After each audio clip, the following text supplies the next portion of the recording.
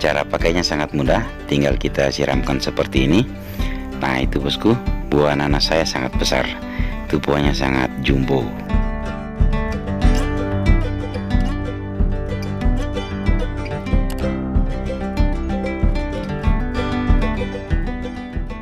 Salam hijau bosku, salam organik. Sesuai dengan judul Hari ini saya akan membuat pupuk cair yaitu pupuk NPK dalam bentuk cair agar nanti saat kita aplikasikan ke tanaman mudah diserap oleh akar tanaman teman-teman. Nah ini bahannya. Salah satu bahannya dari daun gamal. Pohon gamal ini sangat banyak manfaatnya dalam pertanian organik. Di sini pohon gamalnya saya tanam sebagai batas kebun. Saya tanam sebagai pagar. Selain itu daunnya kita manfaatkan sebagai bahan pembuatan pupuk organik.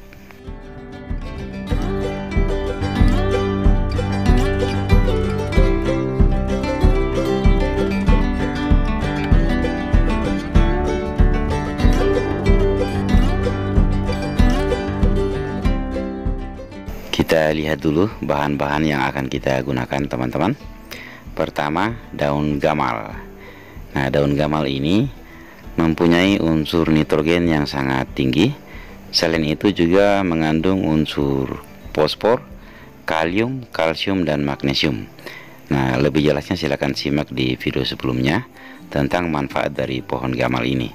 Nanti daun gamal ini akan kita uh, petik daunnya saja. Daunnya nanti akan kita ambil. Nah, terus di sini bahan yang kedua bonggol pisang. Bonggol pisang ini juga sangat bagus, teman-teman. Bonggol pisang ini merupakan sumber unsur hara fosfor. Selain itu, bonggol pisang memiliki kandungan mikroba yang sangat lengkap. Ada sekitar 7 mikroba pada bonggol pisang yang sangat bagus, seperti mikroba pengurai untuk bahan pembuatan mol. Nah, bonggol pisang ini juga bagus kita gunakan sebagai pembuatan set PT. Terus, bahan yang ketiga sabut kelapa. Sabut kelapa ini sebagai sumber unsur hara kalium sebesar 10,25%. Jadi unsur kaliumnya sangat tinggi sehingga sangat bagus kita gunakan sebagai bahan untuk pembuatan pupuk NPK dalam pertanian organik. Sabut kelapanya ini sudah saya rendam sehari semalam teman-teman agar saat taninnya itu bisa hilang. Nah, di samping itu agar nanti tidak mengapung di air. Bahan yang keempat, air cucian beras atau air leri. Nah, pada air cucian beras mengandung beberapa nutrisi yang sangat baik e, seperti protein, selulosa, dan vitamin B1. Air cucian beras ini mengandung beberapa bakteri yang sangat baik teman-teman. Air leri ini saya tampung di dalam ember tong ini e, supaya tidak busuk, tidak berbau. Saya tambahkan gula agar awet. Selanjutnya, bonggol pisang dan sabut kelapa sama daun gamalnya ini akan kita potong kecil-kecil dulu teman-teman Nah setelah kita potong-potong jadinya seperti ini teman-teman Sabut kelapanya kita potong kecil-kecil seperti kotak-kotak ya Kita potong mirip dadu e, Tadi ini sabut kelapanya kita ambil dari satu butir kelapa. Nah terus e, ini bonggol pisangnya ini ada sekitar hampir 2 kilo teman-teman. Ini setelah kita potong-potong jadinya kecil-kecil bisa ditumbuk juga. Kalau macam mau ditumbuk lebih bagus lagi. Nah terus daun gamalnya ini ada sekitar 1 kilo teman-teman. Kalau tidak ada daun gamal bisa kita ganti dengan daun kelor atau daun lamtoro jadi bonggol pisang ini ada sekitar 2 kilo. Sabut kelapa ini satu butir kulitnya kita ambil dan daun gamal 1 kilo. Daun gamalnya ini akan kita hancurkan bisa dengan cara ditumbuk. Cuma saya tidak ada alat penumbuk jadi akan saya remas-remas saja. Ini akan saya tambahkan air dulu sedikit agar nanti mudah kita remas agar mudah hancur nanti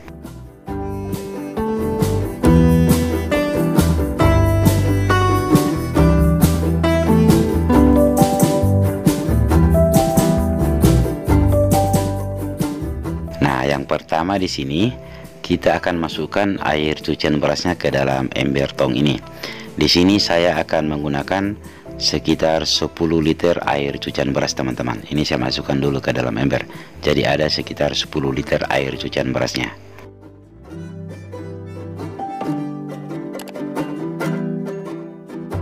Selanjutnya saya akan menambahkan molase. Nah, ini molasenya cara buatnya silahkan simak di video sebelumnya teman-teman. Cara buat molase. Kalau tidak ada molase bisa kita gantikan dengan gula merah atau gula pasir. Molasenya ini akan saya tambahkan 200 ml teman-teman. Jadi pas satu gelas ini.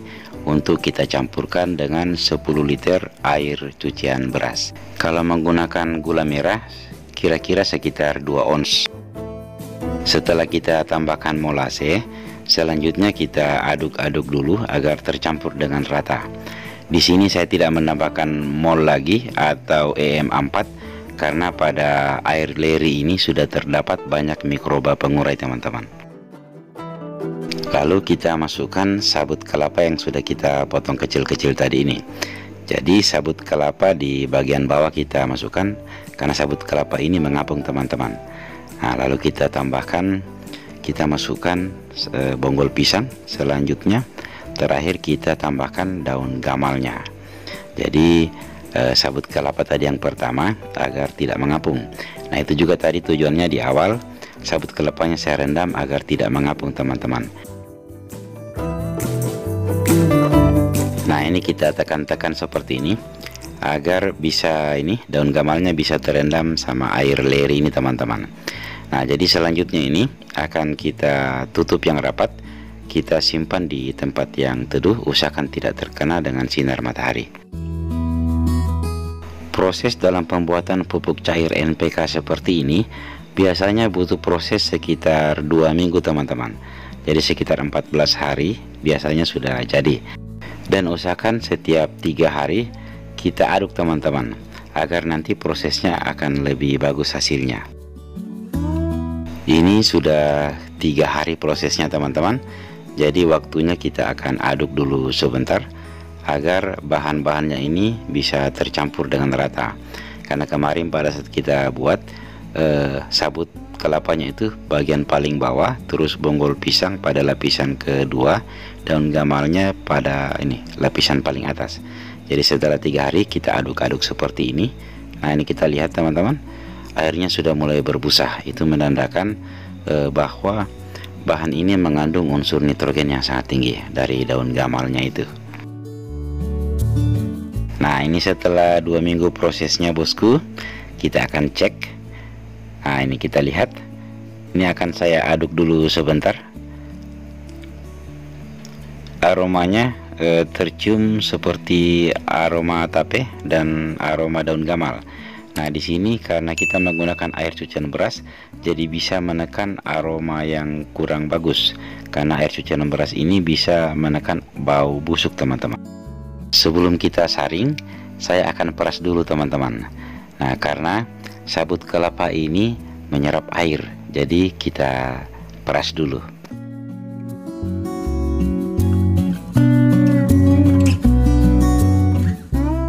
Ampasnya ini tidak saya buang teman-teman ini akan saya buat kompos lagi. Karena eh, ampasnya ini masih terdapat nutrisi yang sangat bagus. Jadi daripada kita buang bagus kita akan olah jadi pupuk organik padat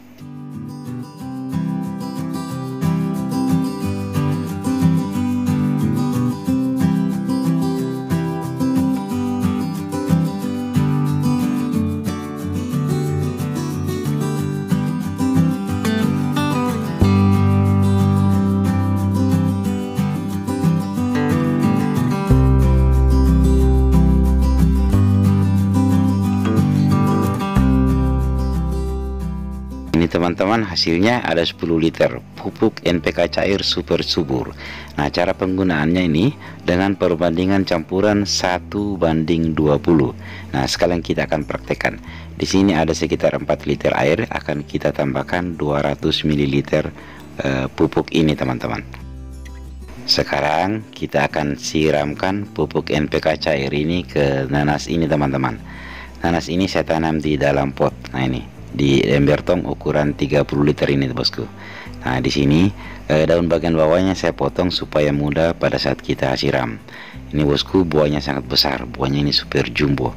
Dulunya ini nenasnya saya semai di dalam gelas. Nah itu bosku kita lihat fotonya. Lebih jelasnya di video sebelumnya saat kita semai dulu.